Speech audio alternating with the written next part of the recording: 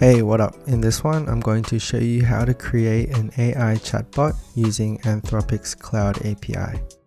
It's actually super simple and fun to make, and I feel like I might start making more AI apps with Flutter. Now keep in mind if you want to use these AIs then you need to buy tokens or credits from Claude. So I bought like $5 worth just to test it out. So let's build an AI chatbot with Flutter.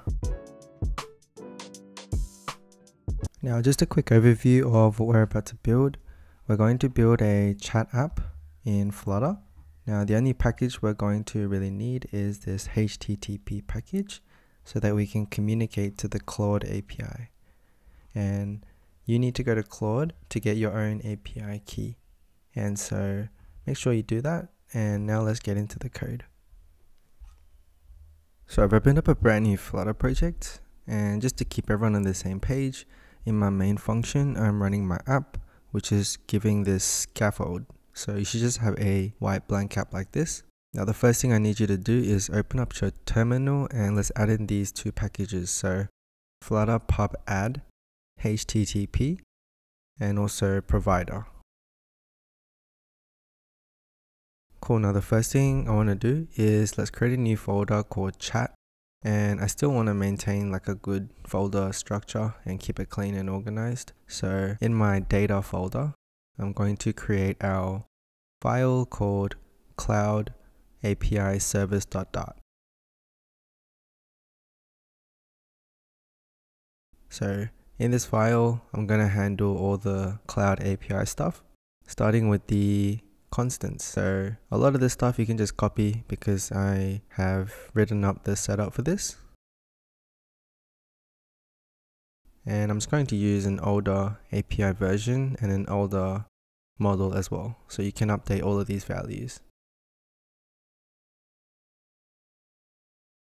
So we got the max tokens and make sure the only thing we need is the API key that you get from Claude. So when we use this service, let's require this API key.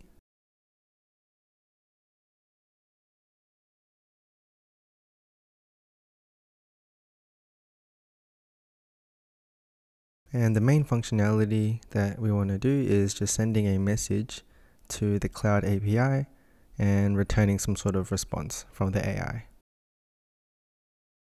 So we're going to accept just a string of content for the parameter. And let's try to firstly make the request to the API. So this is where we're going to use the HTTP package. So let's import that at the top.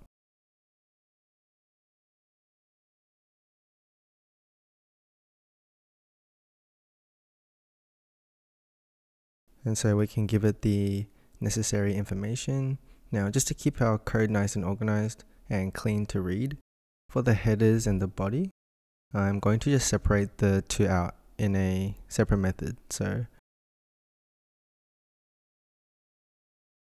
the first one is just to create the required headers for the Claude API. So this stuff you can just copy because it's kind of specific to this API.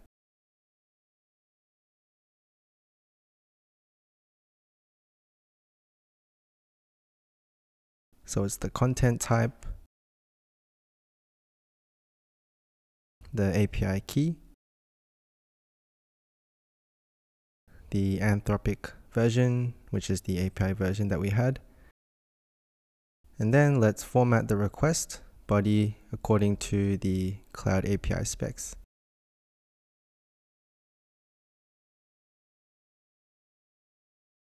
For the model, and let's just make sure to format this in the required structure.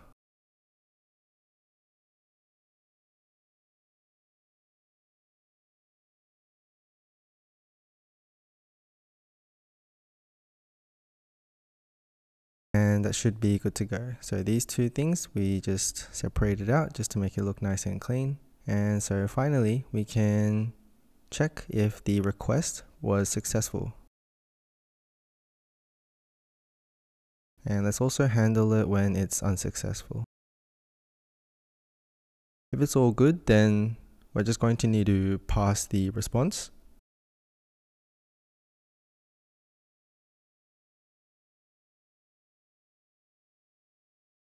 So just to write some comments here, we're going to pass the response and just extract the part of the text that we need.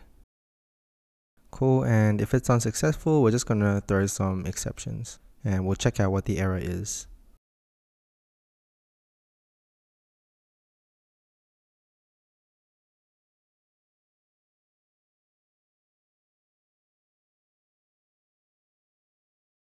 Awesome, and that's it for the Claude API service. Now let's create a new folder called model. And let's create our message. So this is what every message is going to look, going to look like. It's going to have a content and if it's the user or not, as well as the timestamp.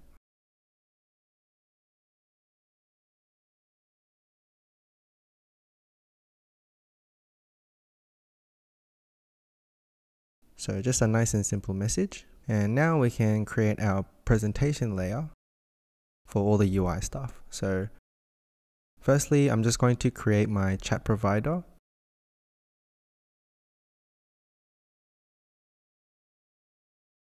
Let's, at the beginning, get the API service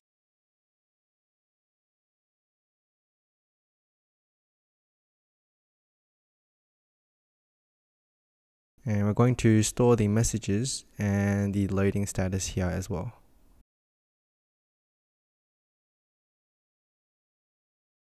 And so this class will just basically handle all the state and the UI for our app and basically just manage all the messages.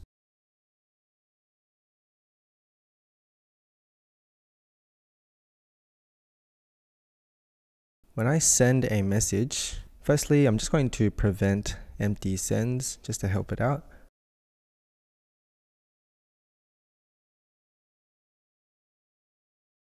And then let's create the user message.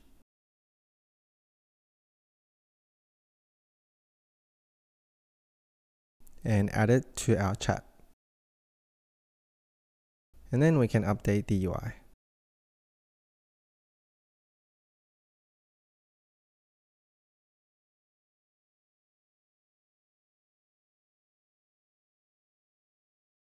And let's try to send our message and receive the response from our API.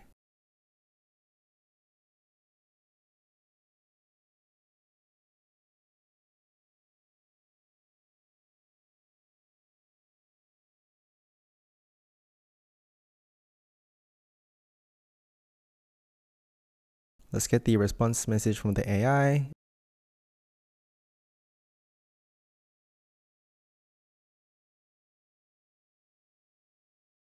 and add it to the chat. And the content of this message should be the response. Cool, and if it's an error, then I'm just going to create an error message. So we can create a custom message here if you want.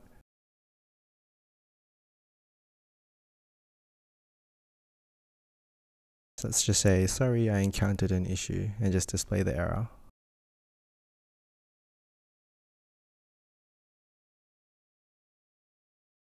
Cool, and then at the end, we finished loading. Sweet, oops, and I forgot to just add the message to the chat. Okay, cool, and that's our chat provider. So we just have the fun stuff left. We just need to create our chat page. So this is just going to be the UI that we see. And firstly, in our main function though, Let's wrap our app in a change notifier provider and give it our chat provider that we created. Sweet, and then we want to have a chat page. So let's create that now.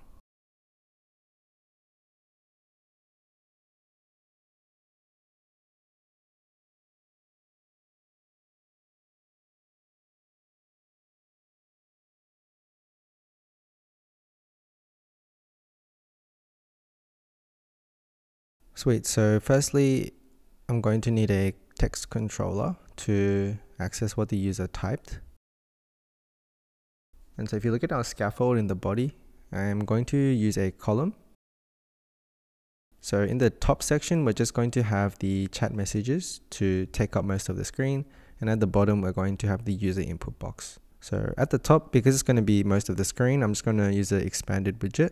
And then let's use a consumer to consume our information from our provider. Now, if it's empty, then I'm just going to put in some empty message like start a conversation.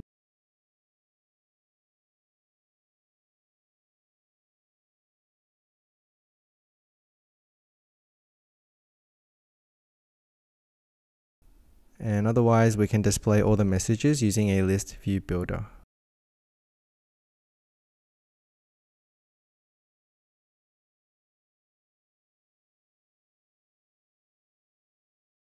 So let's just get each individual message first by cycling through the index and return the text.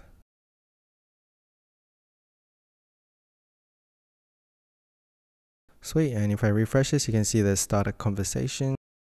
Now at the bottom, last thing we need is a text field.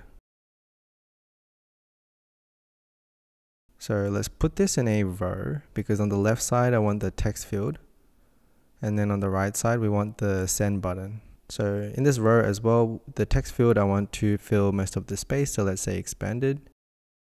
Now if you save this, I think it's at the very bottom, you can't really see it, but yeah, you can actually type in the text box already. So what I want you to do is you can actually wrap this entire column in a widget called a safe area. And this basically just helps it to just avoid any kind of difficult places in the in the corners and around the notch and stuff. So now I can see my text field and you can type inside and let's also include our button.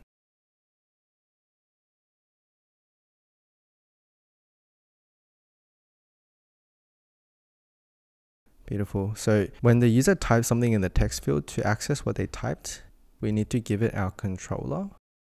And then if I click send, and let's make sure to only do this when it's not empty. So there is something to send. Then we want to go to our provider. I need my provider and then we can send the message. And let's also clear the controller while we're here. Sweet, okay, let's try this out. Now I'm just going to send a message and looks like you can see there, it's kind of working. Now it says, sorry, I encountered an issue, API error. So obviously I didn't use the actual API key. You can see here, this is where you need to put your API key that you need to get from Claude. So I'm going to put my one in right now and then let's test this out. You can say hello and then it gives us a response. Sweet, so it's working. That is really cool. Now just to finish this off, I'm going to make this look a little nicer. Let's create a chat bubble. And just accept a message for this.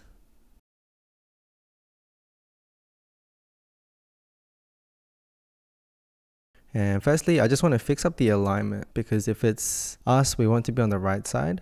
And if it's not us, then we want to be on the left side. So we can come to the chat page and give it the chat bubble now. And whoops, we should also give the child to the chat bubble. And you can see there it is. So it's on the right and left side. So now I'm just going to finish off by decorating it just with the colors. Some green and some gray.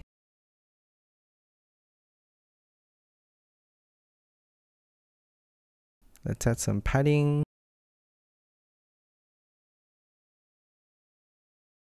The corners are looking super sharp, so we can curve the corners. And we can control the color of the text as well.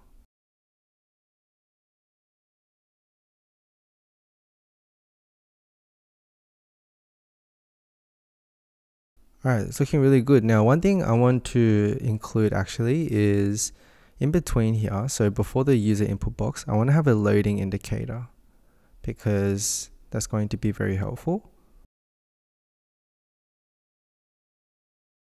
So if it's loading, then just use a circular progress indicator.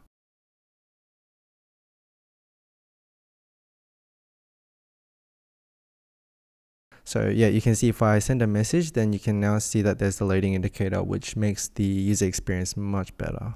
Cool, and that's it. That's how you make a AI chatbot with the API key. So that's the important thing is you just need this API key from Claude or you know ChatGPT, any AI provider, and we're good to go. So I feel like now there's so many cool things I could make.